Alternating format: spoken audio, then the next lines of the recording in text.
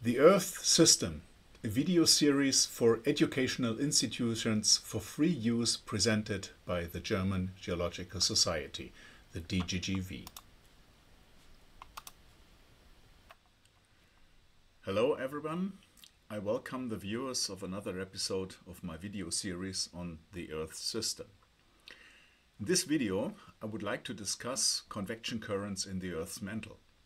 And as with all other videos, I would like to point out the opportunity giving me feedback if you have any questions or comments. You'll find my email address on the first page of this video or on the website. Convection or convection current is a physical principle that has a lot to do with isostatic compensation, which I already talked about in some earlier videos on isostasy. When materials, whether solid, liquid or gaseous, are heated, the so-called Brownian molecular motion increases in them. This means that the individual molecules move faster and need a little more space. This causes the mass to expand slightly and, of course, become lighter. The result is that it rises upwards according to the principle of isostatic compensation. This phenomenon can be observed in many places. For example, we all know that warm air rises and cold air falls down. It can also be demonstrated in a very simple experiment. If you heat water in a pot at one point, for example with a Bunsen burner, as shown in the figure here, heat is supplied by the flame and the heating causes the water to rise at this point because it becomes lighter. It cools on the surface and sinks back down the sides of the pot. This creates a circular flow called convection. The water moves in a convection current. Such convection currents can also be found in the Earth's mantle and most probably also in the Earth's core. The Earth's mantle is not liquid like water, but it is mobile, except that the movements there occur at extremely low speeds we measure it in centimeters per year, not centimeters per second like in our water model. Centimeters per year, that is the velocity dimension that we know from plate movements. And so the Earth's mantle is able to flow over periods of time that ultimately span uh, millions of years. Well, in the now generally accepted plate tectonic model of our Earth, convection currents play an important role for plate movements. Even in the first uh, models from the 1960s and 1970s, convection currents in the Earth's mantle were depicted as the main drivers of plate motion. And it has remained that way to this day. However, uh, lots of illustrations of convection currents in the Earth's mantle that you can find in countless variations on the internet or in textbook books are unfortunately not really correct such as this example from uh, Wikipedia, which can be found under the keyword mantle convection. All of these representations have in common that they show the convection currents in the Earth's mantle as huge convection cells that go through the entire mantle and bring the hot material back up again just below the spreading zone. And as I said already, you will find many, many similar representations in modern textbooks or in video clips, some of them even animated. Okay, they are not correct, but what's the problem? In this model, cool lithosphere thinks downward in subduction zones and the hot mantle flows are supposed to rise just below a spreading zone. This is understandable so far. It corresponds to the water model for convection currents and it certainly explains how plate tectonic works. But this idea is unfortunately wrong because it doesn't work. If convection in the Earth's mantle really happened like it does here in the Wikipedia illustration, then the convection cells should not change their location. They will always have to stay in the same place. But we know that oceans are constantly change their shape, first becoming ever wider and then gradually disappearing by being completely subducted. In this model, however, the closure of an ocean would not be possible at all. What would then happen to the convection cells when the ocean disappears?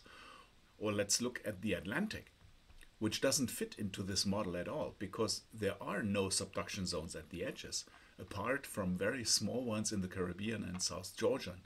Neither on the American, European or African side we can find subduction zones.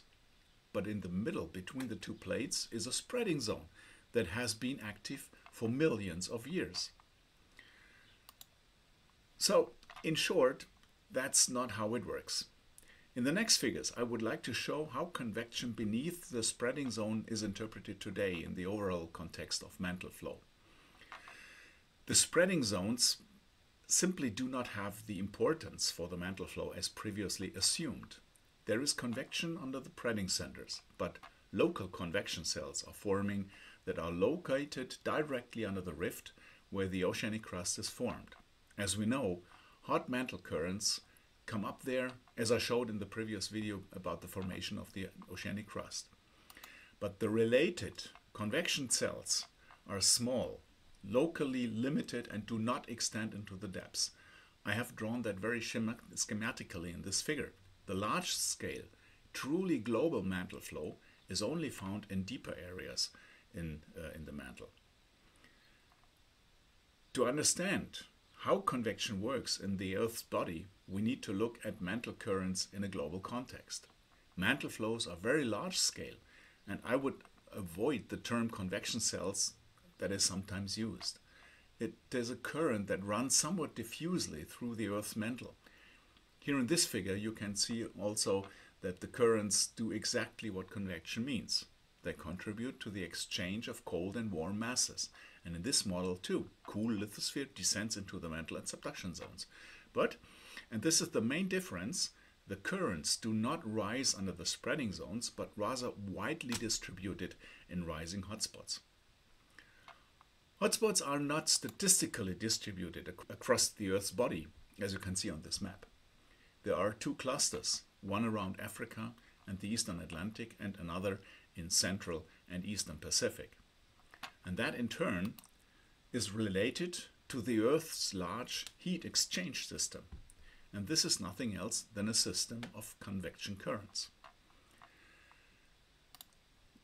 This is a cross-section through the Earth's body. Here we see a section parallel to the equator, so we are essentially looking from, at this from the South Pole. This is a model of the Earth's body based on the latest scientific findings and here I will just show how the currents flow in the Earth's mantle. In a later video I will explain more on this figure, for instance the meaning of the zones shown here such as the Tuzo and Jason bulges and the subduction zones. You can roughly divide the Earth body into four areas, each with opposite areas of subduction and areas at approximately right angles to them in which hotspots occur. And there are actually more of them than you might initially think. It is estimated that there are currently around 40 to 50 such hotspots worldwide. Most people will know the hotspots of Hawaii or Yellowstone, perhaps also the Campi Flegrei near Naples in Italy, or the Canary Islands with the recently erupted volcano on La Palma, but there is much more. As we would expect according to this model, the two phenomena, subduction and hotspot, do not occur together, sometimes in relative proximity, but not together. So a hotspot would never lie directly in a subduction zone. In contrast, there are spreading zones with a hotspot underneath. Iceland is the best example of this. There is a hotspot directly under the mid-Atlantic ridge. The hotspot lifted the oceanic crust so that the ridge with the spreading zone can be observed on land today. This is one of the very few places on Earth where this is possible. Normally, the spreading zones on the mid-oceanic ridge, ridges are at water depth of over 2000 meters. Okay, so much for the convection currents. We will look further into spreading zones, including in the next videos. This time, thank you for listening and I'll be happy if you stick around. And I recommend continuing with the video on spreading zones and plate motion.